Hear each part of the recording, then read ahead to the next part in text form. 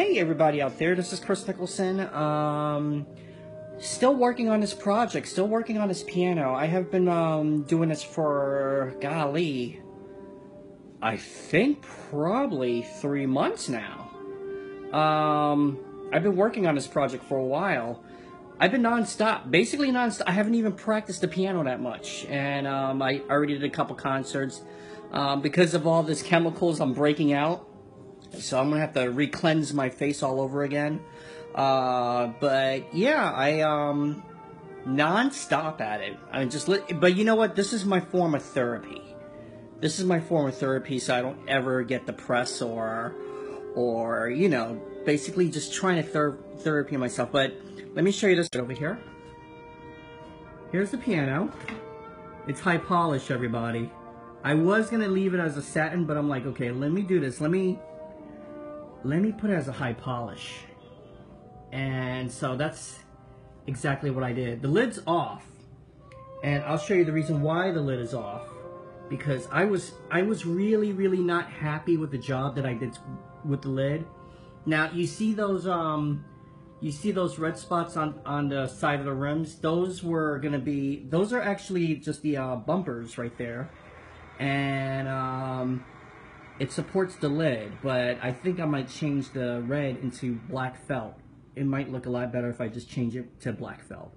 The red's okay but it kind of doesn't look right around the rim. I mean except for the big ones. The big ones could be red and the little ones on the side could be all black so that's no problem. I'm gonna change that to black felt um, probably you know I want to get some more money.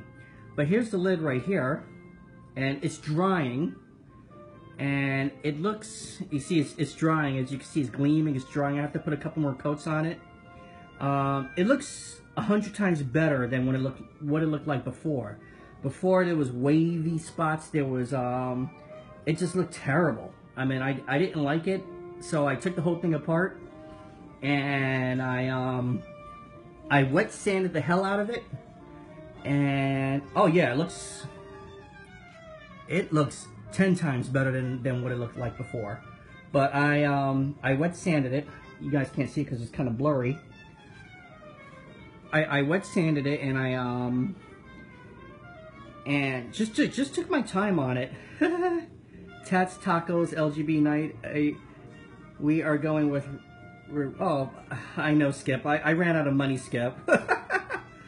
I ran out of money. I, I, I want to finish this project. I know I, I, I, would go with you guys, but um, I can't have you guys treat me all the time, so I, I kind of ran out of money. I ran out of, everybody, I ran out of money doing this whole piano project.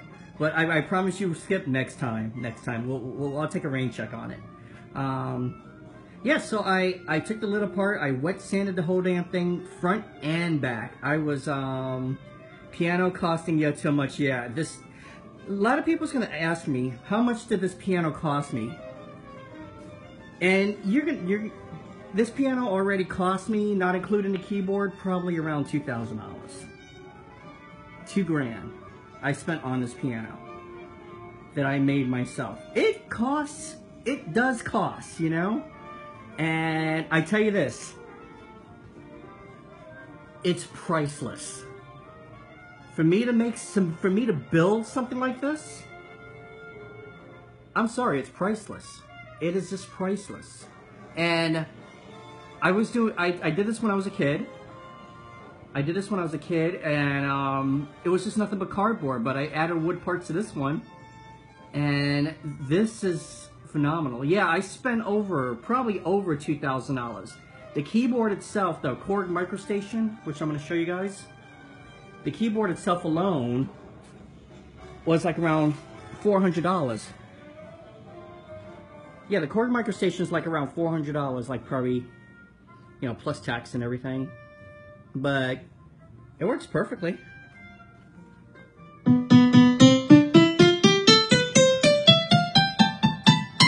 hard for me to do it one-handed.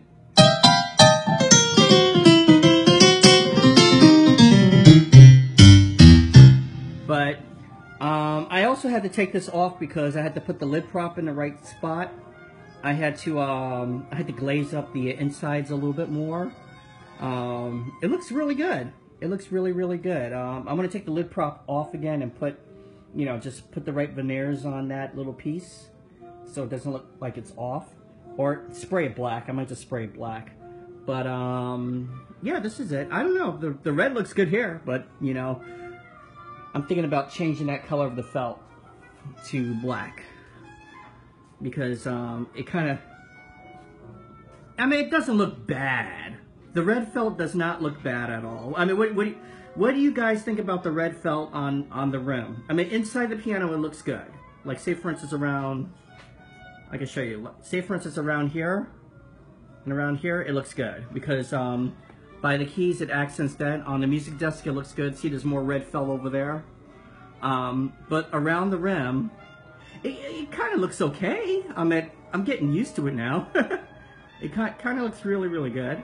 Um, that might be that might be my signature. Is that the red red felt around the rim, you know, most parts of the rim and everything. So this is drying.